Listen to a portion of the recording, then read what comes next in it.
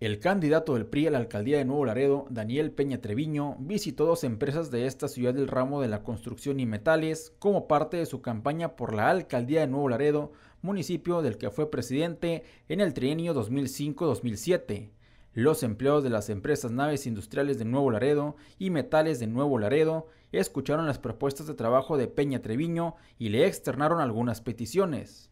El candidato tricolor les dijo que contiende por un gobierno serio y responsable que rinda cuentas y sea realmente transparente con el manejo de los 3 mil millones de pesos que deben estar bien enfocados, de los cuales pretende aplicar 15% de la seguridad patrimonial para mantener familias seguras. Expresó que de ganar las elecciones apoyará significativamente la niñez, a las mujeres y a las escuelas, además de construir en el poniente, norponiente y los kilómetros tres grandes complejos deportivos y recreativos, entre otros proyectos. A la fecha, Peña Treviño se ha reunido con representantes de Coparmex, el Consejo de Instituciones, la Cámara de la Industria de la Construcción, clubes de servicio y otras organizaciones.